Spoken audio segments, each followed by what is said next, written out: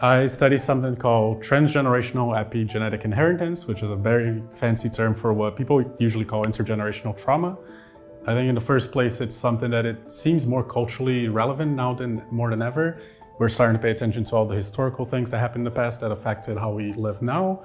But also you can see by movies like Encanto and all these other like Pixar movies that we have a lot of populations that were historically marginalized and we're starting to see how that might have affected other generations even after the, the original trauma was done.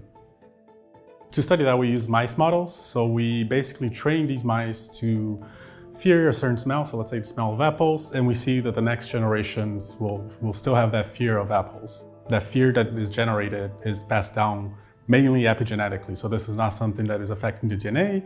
We're not really sure what the mechanism is. That's part of my research. I come from a neurodevelopmental background, so study how the brains form, how memories are formed, how we all begin. I want to see how early on this fear of a certain smell can be found as early as an embryo, or is it something that you develop in life? Do you need to be exposed to these things? The fun part about studying the olfactory system, how we sense smell, it's one of the only parts of the brain that has a population of stem cells throughout your life. So it's one of the only parts that we know that neurogenesis, or the creation of new neurons, happens.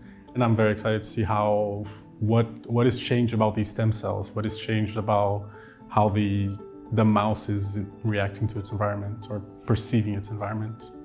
We see a lot of differences across sexes. So right now I'm seeing how maybe like what a mother will pass down to a son, how that could be different from what a father will pass down to a daughter.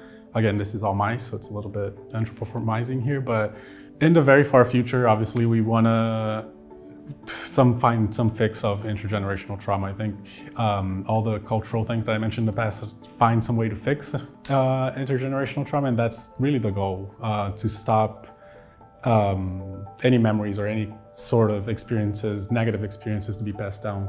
That's obviously very, very far in the future, but by understanding the, those molecular mechanisms, we might learn a lot about evolution, about ourselves, about all of it.